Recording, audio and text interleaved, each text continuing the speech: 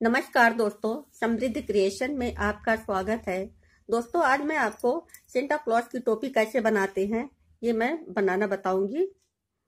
देखिए, पहले हमने फंदे डाल करके इसमें बॉर्डर बनाया है और बॉर्डर एक फंदा उल्टा और एक फंदा सीधा का बॉर्डर बनाया है। उसके बाद हमने दो राउंड एक राउंड उल्टा और एक राउंड सीधा का बुनाई किया है। और अब मैं उल्टी साइड से आपको चैन स्टिच का एक डिज़ाइन डालूँगी यहाँ पर, मैं वो बताऊँगी।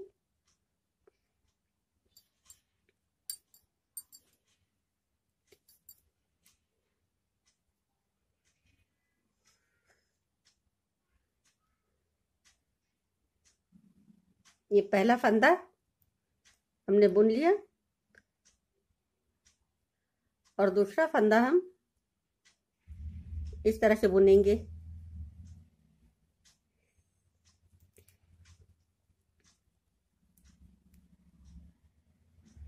एक फंदा रेड कलर से बुनेंगे और एक फंदा व्हाइट कलर से बुनेंगे।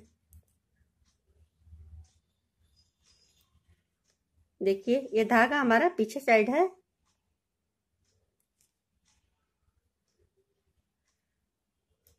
और डिज़ाइन हम उल्टे साइड से डाल रहे हैं। ये उल्टा साइड है, ये उल्टा साइड है और ये सीधा साइड है।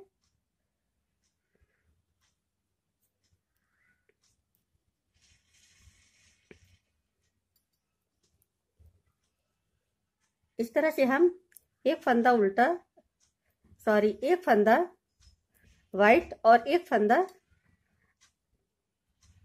रेड कलर से बुनेंगे। धागा पीछे करके।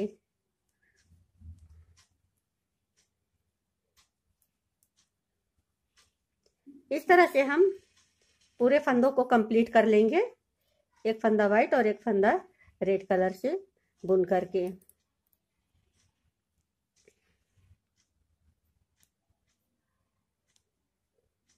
ये हमारा, ये पहला राउंड कंप्लीट हो गया।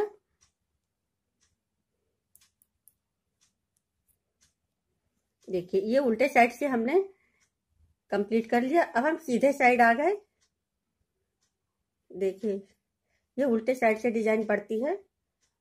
इस तरह की डिज़ाइन बनेगी।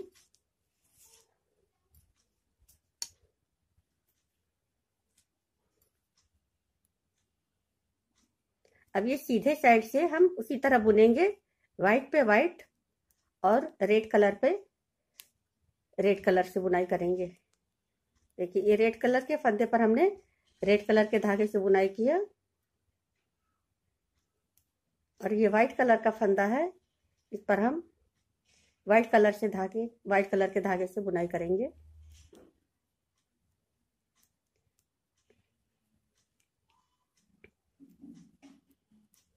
और बुनाई ढीला करेंगे, इसमें टाइट बुनाई नहीं करेंगे।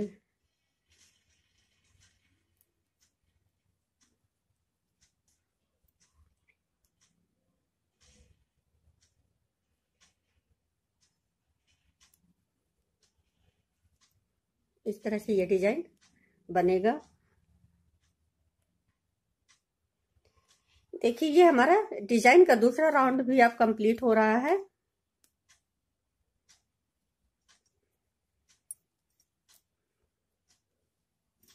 बुनाई उसी तरह से चलेगा। व्हाइट पे, व्हाइट कलर के धागे से हमें बुनाई करना है। और ये रेड पर, रेड कलर के धागे से बुनाई करना है। और पहले राउंड में हमने एक फंदा रेड और एक फंदा व्हाइट कलर बुना था। और दूसरी राउंड में व्हाइट पे व्हाइट कलर और रेड पर रेड कलर। देखिए, इस तरह से ये हमारा डिज़ाइन कंप्लीट हो गया। अब हम पीछे साइड से, उल्टे साइड से देखिए। व्हाइट कलर से उल्टा बुनेंगे। पूरे फंदों को व्हाइट कलर से हम उल्टा बुन लेंगे।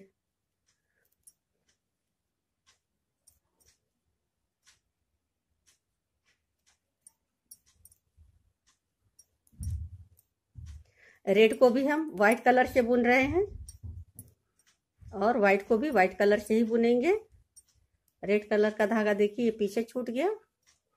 व्हाइट कलर का धागा जिससे हम बुनाई कर रहे हैं। इसी तरह से हम पूरे फंदे को कंप्लीट करेंगे। ये उल्टे तरफ़ से हम उल्टी बुनाई कर रहे हैं और सीधी तरफ़ से सीधी बुनाई करेंगे व्हाइट कलर के धागे से।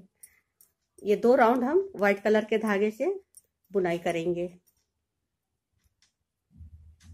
ये हमारा व्हाइट कलर का दूसरा राउंड सीधी साइड से अब कंप्लीट हो रहा है। एक राउंड हमने उल्टे साइड से बुना व्हाइट कलर से। और सामने साइड से सीधा हमने बुन लिया व्हाइट कलर से। इस तरह से दोस्तों ये डिज़ाइन, बहुत खूबसूरत डिज़ाइन बन गई। और इसके आगे हम रेड कलर का धागा लगाएँगे।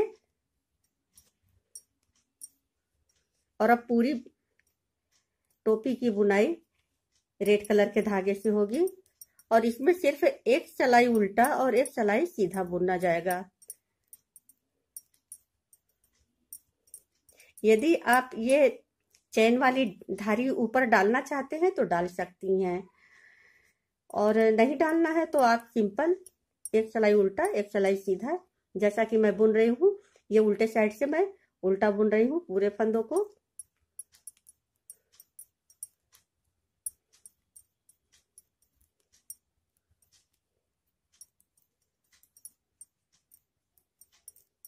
इसी तरह से हम इसे जितनी बड़ी टोपी बनाना चाहते हैं, उतनी बड़ी टोपी बना सकते हैं।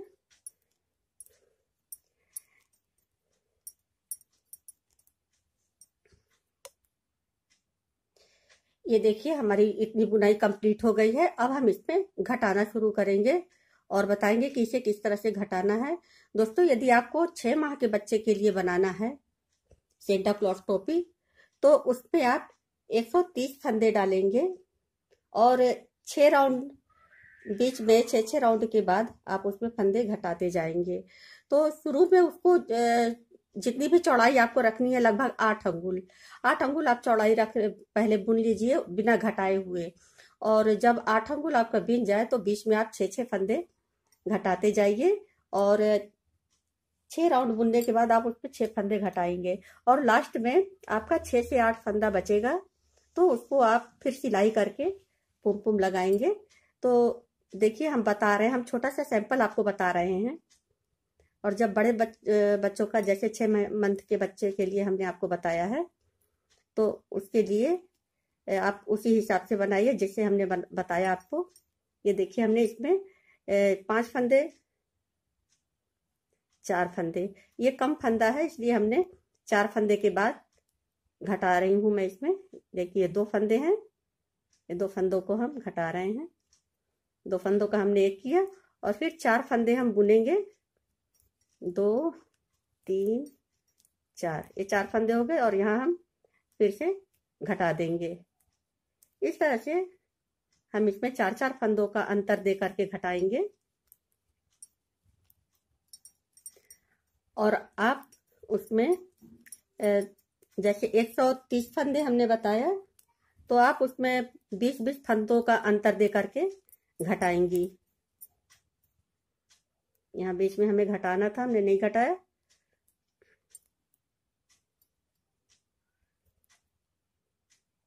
देखिए, यहाँ हमने घटा दिया।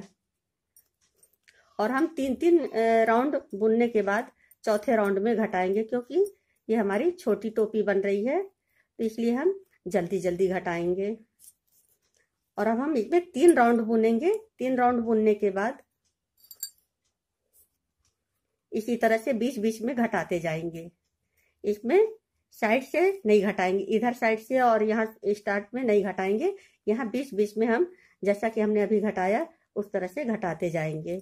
और तीन राउंड हम इसे बुनेंगे। तीन राउंड बुन, दो राउंड बुनेंगे। दो राउंड बुनने के बाद तीसरी राउंड में हम घटाएँगे।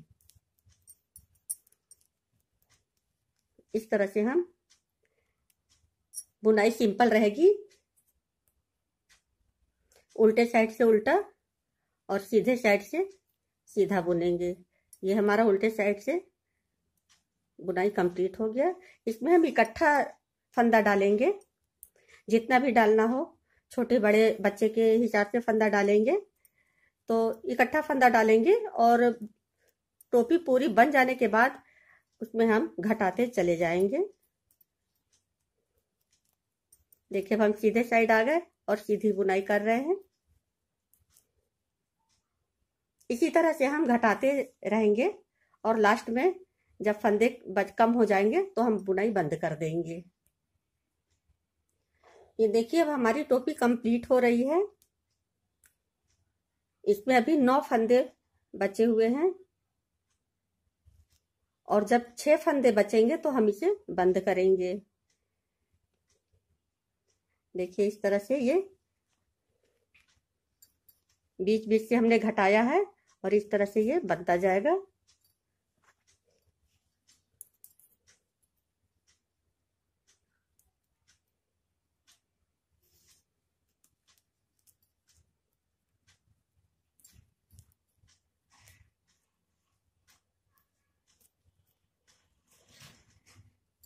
दोस्तों, यदि हमारी ये बुनाई आपको पसंद आ रही हो तो आप हमारे चैनल समृद्ध क्रिएशन को सब्सक्राइब करना ना भूलें और हमारी वीडियो को लाइक कर, लाइक करें।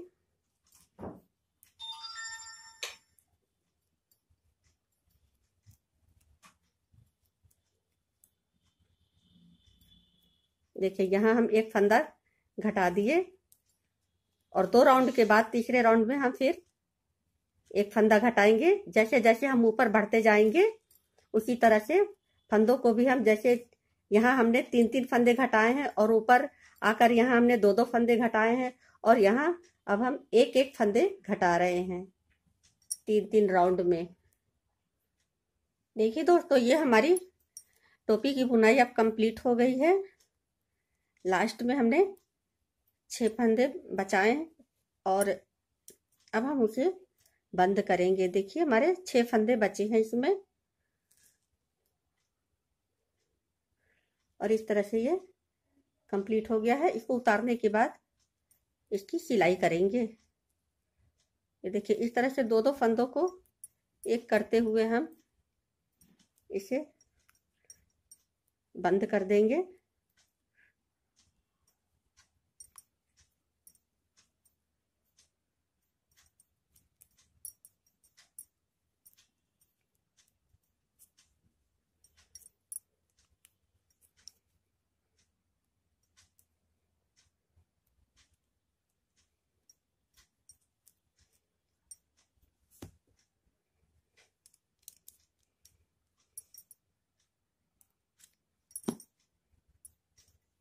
ये बुनाई कंप्लीट हो गई और अब हम इसे सिलाई करेंगे।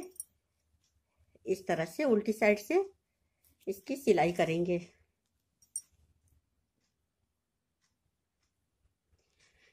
देखिए, यहाँ की बुनाई हमने व्हाइट कलर के धागे से किया, ये बॉर्डर की बुनाई। और ऊपर हम रेड कलर के धागे से बुनाई कर रहे हैं, ये देखिए। और उल्टी बखिया करके हम यहाँ सिलाई कर रहे हैं। देखिए, यहाँ हमने सिलाई किया है वाइट कलर के धागे से और यहाँ हम रेड कलर के धागे से कर रहे हैं और उल्टी भगिया देखिए ये यहाँ धागा है, धागा के पीछे से हम सुई डालेंगे इस तरह से। और फिर धागा के आगे देखिए, ये सुई हमारी निकल रही है इस तरह से। और देखिए, जहाँ से सुई निकली है, उसके पीछे से हम ये आपको दिख रहा होगा। ये धागा है और धागा के पीछे से हम इस तरह से सुई डालेंगे। और इस तरह से धागा के आगे जाकर ये सुई निकलेगा। इस तरह से हम उल्टी बखिया इसे बोलते हैं। इसे उल्टी बखिया की सिलाई करेंगे। ये सिलाई मज़बूत होती है, खुलती नहीं है। इस तरह से हम टोपी की सिलाई करेंगे और यहाँ ये पुमपुम हमने पहले से बना रखा है तो हम इसे यहाँ लगाएँगे।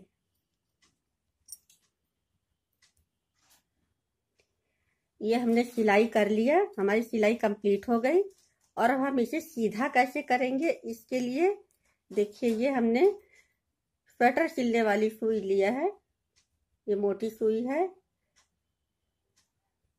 ये स्वेटर सिलने वाली सुई है, इसे हम उल्टा करके इस यहाँ से डाल देंगे, क्योंकि ये काफ़ी पतला है तो इसे सीधा करने में दिक्कत आएँगी।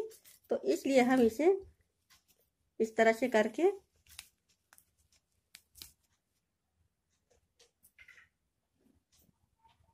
यहाँ से इसे निकालेंगे।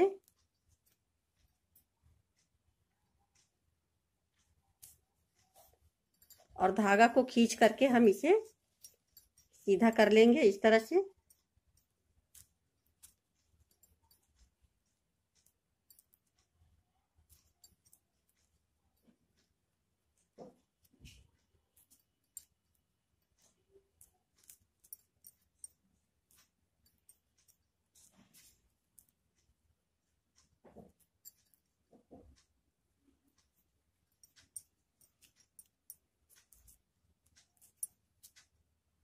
देखिए, ये निकल गया हमारा।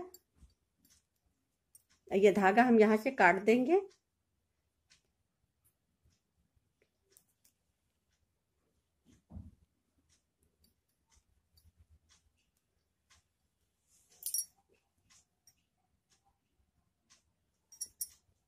अभी नहीं काटेंगे, अभी यहाँ हम इसे जोड़ेंगे। पुम को लगाएँगे। पुम लगाने के बाद हम धागा काटेंगे। यहाँ हम पुम पुम की सिलाई कर देंगे।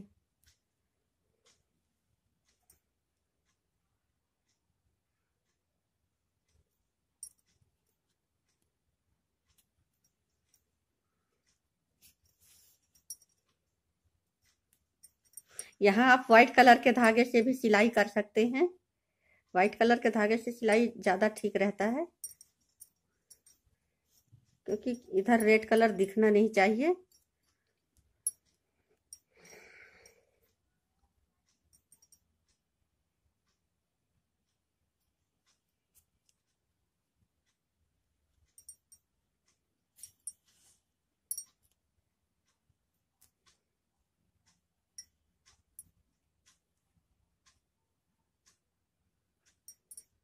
इस तरह से हम इसकी सिलाई कर दिए। देखिए, इस तरह से आप सामने साइड इसमें सितारा भी लगा सकते हैं। हमने इसमें हल्का सा वर्क किया है सितारे का।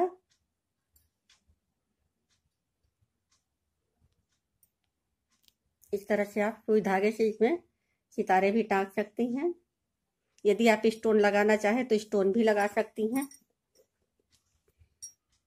छोटा वाला स्टोन आता है, उसे भी आप लगा सकती हैं।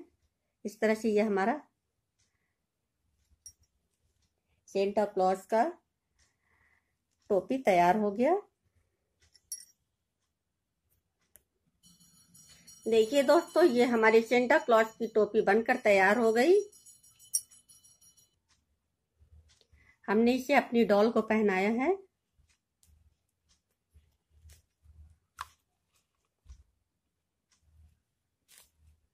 दोस्तों, यदि हमारी ये सेंटा क्लॉज की टोपी आपको पसंद आई हो तो आप हमारे चैनल को सब्सक्राइब करें और हमारी वीडियो को लाइक करें, कमेंट करें। आज बस इतना ही दोस्तों, फिर मिलेंगे एक नए डिज़ाइन के साथ। धन्यवाद।